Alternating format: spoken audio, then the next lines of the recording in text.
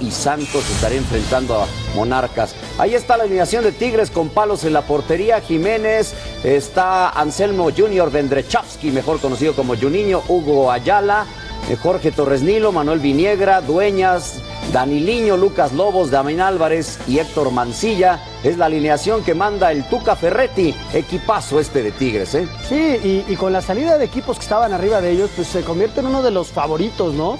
Aunque ya nadie quiere ser favorito en el torneo mexicano, que es un torneo sui generis, y que este equipo de Tigres ya le pasó la temporada pasada, Jorge siendo el número uno, lo dejaron fuera la primera de cambio, ahora está trabajando diferente el partido. Carlos Velázquez será el arquero de los Tuzos con Héctor Herrera, Leo López, Javier Muñoz Mustafa, Carlos Rodríguez, segundo Castillo ya en la contención con Elías Hernández, Félix Borja, Mauro Cejas, ahí está Jaime Ayoví, Enrique Esqueda. O sea, el equipo de Pachuca de entrada, Efraín Flores, a buscar el partido, metió mucha gente de ofensiva. Nos dé el silbatazo inicial. Con alma, vida y corazón les llevaremos la crónica de este primer tiempo. Aquí está Leo López mandando este zambombazo, como diría mi querido Enrique Bermúdez, allá lo más lejos que pudo. Centro de Lucas Lobos, el remate, gol. ¡Gol!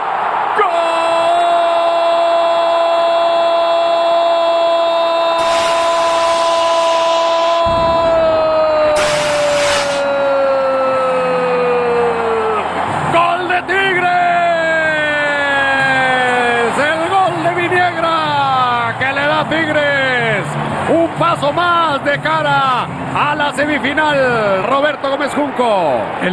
La ejecución de Lobos allá en la zona donde puede hacer daño fuera del alcance del portero y Viniegra que entra pleno. ¿no? Este es el premio a esa postura que asumieron los Tigres. No se defienden replegándose, no, se, no, no manejan su ventaja echándose atrás. Saben que hay que tener la pelota, saben que hay que aprovechar la capacidad de sus atacantes. Aquí a balón parado ejecutan de esta forma y Viniegra que cada vez ha sido un elemento más importante. Facilita la labor defensiva de Pachuca para salir tocando desde el fondo. Con Herrera pegado a la raya. Mete el centro. Corte defensivo con algunos problemas. La recuperación que tiene Elías Hernández. Saca el tiro y palos. Que se lanza y vuela. ¡Ah, qué cosa tan hermosa! Cuando un arquero nos regala esa plástica en el lance para echar el balón afuera.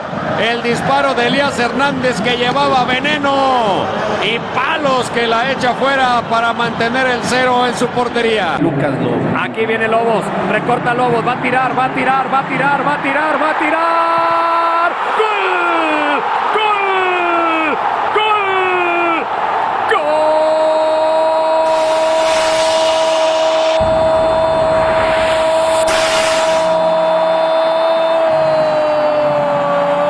de Lobos!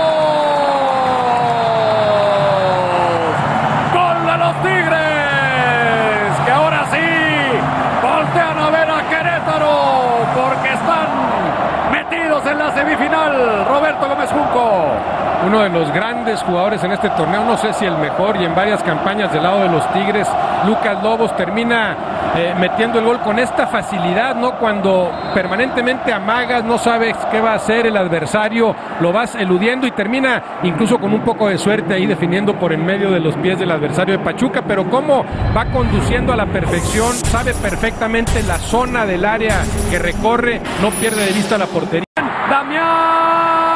Se tardó. La piensa Damián, sigue en el área, sigue Damián, sigue Damián. ¡Qué bárbaro! ¡Qué bárbaro! ¡Golazo! ¡Gol!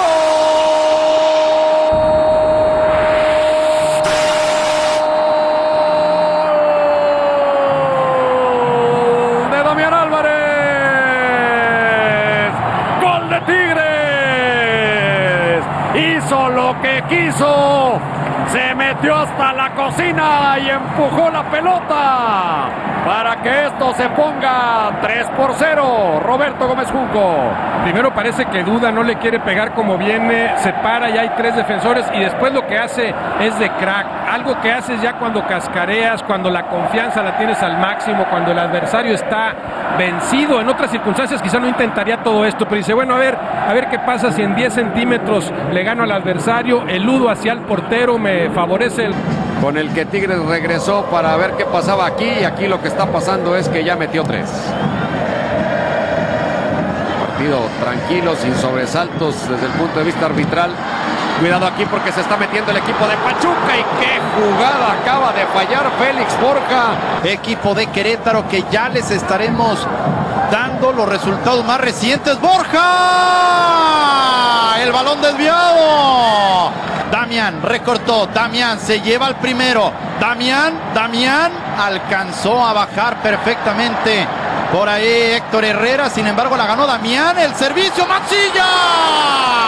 La pelota desviada, apenas largo el envío para Héctor Mancilla que casi Roberto marca el cuarto del partido. Si no sé si largo se tarda en arrancar Mancilla, como que no puede creer que va a recibir con tal facilidad y ya cuando extiende la pierna no es suficiente, pero el trazo de Lobos, otra vez el talento y la capacidad técnica, la visión de cancha y del área.